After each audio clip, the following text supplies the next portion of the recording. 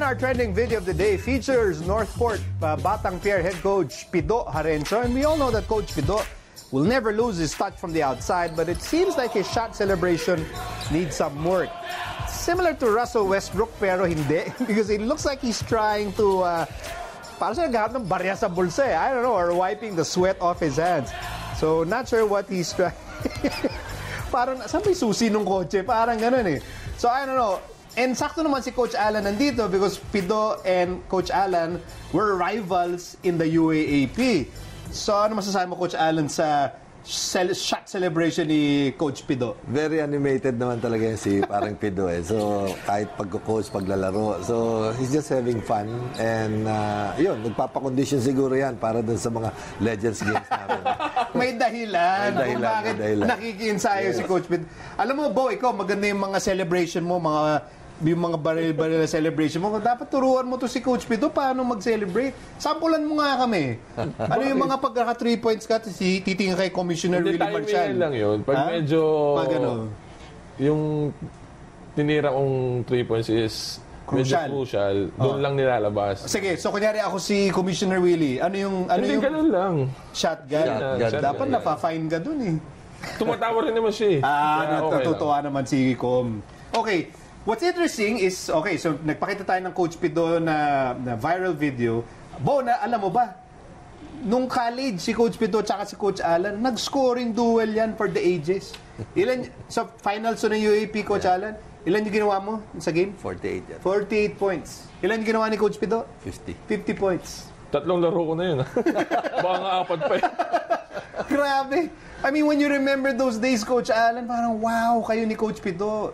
When people talk about it to this day, parang man, naluluha pa eh.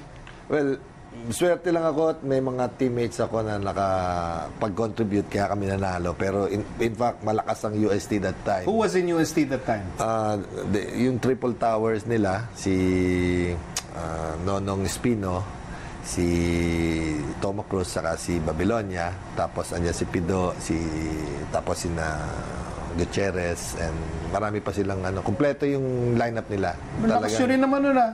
Well, siyempre, andyan si Jerry, saka yung father ni, Li- ni si Lim Uy, father ni Sian Lim, na naging teammate ko, saka si na George Elia. Okay. But again, going back to Coach Pito, he needs to work on his... Uh, Kailangan niyo mag-seminar. kailangan niya mag ano, kailangan niya mag-seminar sa ano, Bo Belga School of Post-Shot Celebration. Pero actually, para sa akin, mal- hindi mo dapat sinusuksok yung ano pagka-shoot mo. Ano dapat? Wala, keep it, keep it fire, ah, keep it ano, burning. Putok mo uli. Kasi pag sinaksak mo, baka ma, Baka manlamig, malamig, manlamig. mawala. Di ba? Ganun-ganunin mo lang. Ganun-ganunin mo lang. Pag mo na ganun. Pero wait, you're called the trigger man, Yeah. okay? Pero I don't remember you ever doing any sort of celebration after hitting a shot. Well, actually, pag nakashoot ako, ang first thing na ginagawa ko is just to, uh, kino, inaano ko lang Yung yung, nag-assist. nagpasa. Oo, Nag-assist. oo. Thank you. Parang ganon. And then, Hindi, dati ano yun eh. Kailangan yun eh. Customary yun. yeah. Pag may nag-assist, kailangan kita sa TV, di ba? Pag jajogging kang gano'n, di ba? Kasi, Ganon, di ba? kasi para sa akin, samahan mo na ng yabang ng konti sa sarili mo na if you, if, pag uh, nakashoot ka ng 3 points, huwag mo ipakita na chamba yun or what. Talagang confident ka na. Ano, hindi mo kailangan pag magse-celebrate ka ng kung ano-anong action. Parang isipin ng tao, chamba pala yun, no? Ikaw pwede mo sabihin yun kasi nag-79 points ka hindi eh. naman. Ano lang yun? May kasama na rin. Saka 17 3 points. Kaya ka, Bo, tama ba yung sinasabi ni Coach Alan? Nag-celebrate? Paano ba yun? Ito kahit na mag-celebrate to, okay lang. May karapatan eh. May karapatan to. May karap- 17 ito although, eh. although, sa bagay, tama rin naman si Alan. If he celebrate, mapapagod to. Ilang beses to magse-celebrate. Lalo na pag nakashoot ka ng 3 points na boarding. Oo. Uh, yung iba, di ba? Parang... Parang, wag oh, chamba. Oh, Pakita So mo never mo, na, normal. never mo naisip nung naglalaro ka, Coach Alan, eh, medyo gaganyan, gaganong ka, wala? Hindi, or hindi pa uso yun nung time well, hindi talaga pa ano. Basta sa akin, pagka talagang minsan nag- may reaction din yung mga isang pump ng fist para lang yung yung pag alam mong crucial yung na-shoot mo 3 points. Yun nakikita ko yun dati. Oo. Na, ganun lang, konting, Ganun lang. konting Just- just ganun lang. ano lang. Konting ganun Kasi lang. Parang yun yung expression mo ng yung how important yung na-shoot mong basket for the game. But what if, uh, what if there's a young player tapos lumapit sa'yo? Yan eh, sobrang idol ka. Idol Bo.